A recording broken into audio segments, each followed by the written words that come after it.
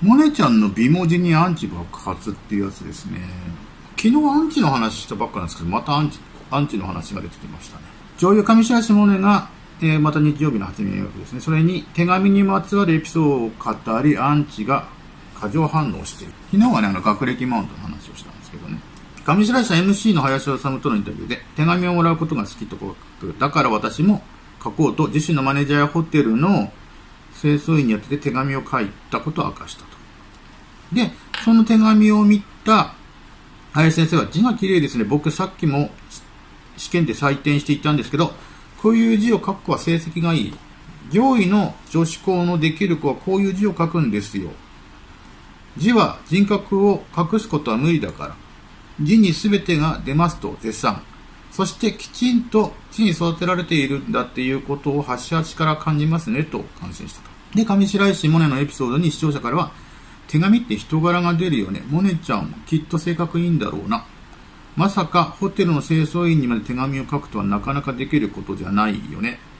メールよりも手紙の方が嬉しい。萌音ちゃんから手紙もらったら嬉しいだろうな。とても優しいですね。気配りができて素敵です。と、などといった声が寄せられている。クラウドファンディングでね、モネちゃんやったじゃないですか。熱海の支援。それ手紙来たあれ確かモネちゃんの手書きの手手紙だった気がしますね。多分どっかに僕残ってる気がしますよ、あれ。しかし、上白石萌音の魅力を認めたくないアンチがいるってことですね。話すこと全部嘘くさく感じてしまう。いちいち大げさなんだよな。林先生字が切れて絶賛してたけど別に普通ではね、わざとらしく持ち上げすぎ。いや、字綺麗でしたよ、これ。相当僕は綺麗だと思いましたけどね。これはあざとい。どうしても性格いいことにしたい大人がいるんだろうな。見れば見るほど疑いたくなる。そもそも字のうまさを成績は関係ないでしょ。わざわざこんなプライベートな手紙まで出してきて必死すぎる。ああ、なるほどね。などと疑惑の声も上がっている。字のうまさと成績関係ないでしょって言ってるけど、僕は国語はあると思います。林先生は国語の先生ですよね。国語の先国語の先生からしてみると絶対字のうまさってのはあると思います。えー、デビュー当時からご利用し疑惑のある上白石ですが、今では NHK 朝ドラカムカムエブリバデのヒロインまで抜擢され、仕事のオファーも次から次へと舞い込んできているようです。もっとも仕事が増えれば増えるほどアンチからの反発の声が大きくなっているのも事実。番組では性格や頭の良さをアピールしていますが、納得のいかない人も多いようですね。まあ、そりゃそうでしょうね。絶対納得いかない人はいますよ、そりゃね。モネちゃんがね、人気出れば人気出るほど、認められれば認められるほど嫌な人はいますよ。上白石は現場スタッフからも人の悪口や愚痴を全く言わない、謙虚で控えめな性格などの声が上がり、性格の良さにも定評があることで知られている。実際にそういったことも含め、俳優業のオファーにつながっているのだろうっていうことなんですけど、別な話があったんですよ。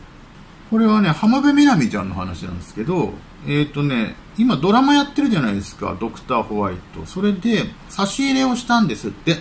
浜辺美波さんよりピンクのチョコレートいただきましたと、バレンタインデーに合わせたロッテガーナの板チョコで、えー、かわいいたくさんみんなにありがとうございます。裏側に浜辺さんの直筆メッセージがありがとうございました。スタッフ一同と浜辺への感謝が記されているという感じで、浜辺美波さんはね、こう、手紙と一緒にね、チョコレートをバレンタインにね、スタッフに、えー、こう、置いてったとですね。ピンク色のパッケージに包まれていたチョコがたくさん置かれている。で、役名、白夜の名前で、ハート型のハート型の紙に丁寧なメッセージが添えられて、粋な計らいで、ハッシュタグでも、浜辺美波さんありがとうございます。ガーナありがとうございます。メッセージ、実は一つ一つ微妙に違うんです。みたいな感じで紹介されてると。で、コメント欄では、直筆メッセージ、すすぎ、私も欲しい。さすがすぎる配慮。すごすぎる。これぞ座長。字が上手ですね。みなみちゃん素敵。みなみちゃん優しいなどの声が寄せられたってなってて、僕、事務所の教育な気がしますよ、モネちゃんも。まあ、モネちゃんもともとね、親御さんの、なんだ、しつけがいいっていうのもあると思いますよ。これね、親御さんのね、家族がずっとそうしてるっていうエピソードでも言ってたし、まあ、それプラス事務所の方針もあるんじゃないかなと思いましたよ。事務所の教育っていうんですか。浜辺美奈ちゃんも同じようなことやって字も綺麗ってね、ちゃんと手書きのものを添えるっていうのが、プレゼントとともに手書きを添えるっていうのが一つの方向性が一緒じゃないですか、モネちゃんと。これ事務所の本当に教育の賜物な気がしますけどね。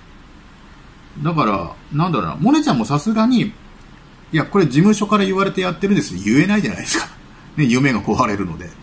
浜辺美波さんも言えないですよね。だからまあ、美談として、一応親、親もやってたんでとかっていう話をすると美しいね、性格がいい感じになるけど、まあそもそもそのね、イメージを作ってるのは事務所なので、いや、これはもう事務所がね、気気遣いをちゃんとさせてんだと思いますよ。若いうちからね。だそれはやっぱりすごいことだし、ね、やらないよりは絶対やった方がいいわけですよ。まあ、こうやってね、アンチもこうやっていっぱい出てくるっていうのもわかるけど、でもやらないよりはやった方が、もう絶対いいに決まってるわけですよ。それやらないよりやった方がいいことをさせてる事務所さんっていうのは僕は素晴らしいと思います。まあそんな感じです。ではでは。